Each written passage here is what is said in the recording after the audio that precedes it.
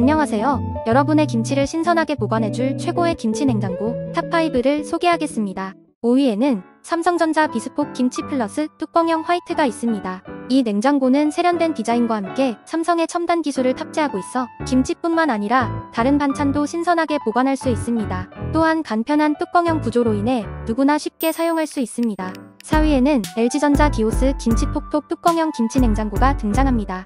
LG의 고품질 냉장 기술로 김치의 신선함을 오래 유지하며 특히 독립적인 냉각 시스템을 통해 김치의 맛과 향을 그대로 보존해줍니다. 3위에는 딤채 2023 스탠드형 김치 냉장고 551리터가 있습니다. 이 제품은 넉넉한 용량으로 큰 가족들에게 적합하며 딤채만의 스마트 냉각 시스템을 통해 각기 다른 종류의 김치를 적절한 온도에서 보관해줍니다. 2위에는 위니아 딤채 스탠드형 김치 냉장고가 있습니다. 이 냉장고는 김치뿐만 아니라 다양한 반찬을 보관하기에 적합한 다양한 보관 공간을 제공하며 위니아의 첨단 냉각 기술로 김치의 신선함을 오랫동안 유지해줍니다. 마지막으로 1위에는 삼성전자 비스포크 김치 플러스 김치 냉장고 스탠드형 Refined Inox가 선정되었습니다. 이 제품은 김치의 맛을 오랫동안 유지해주는 냉각 기술을 탑재하고 있으며 스탠드형 디자인으로 크기가 큰 김치통도 충분히 보관할 수 있습니다. 또한 세련된 Inox 색상으로 주방 인테리어에도 매력적인 포인트가 될 수 있습니다.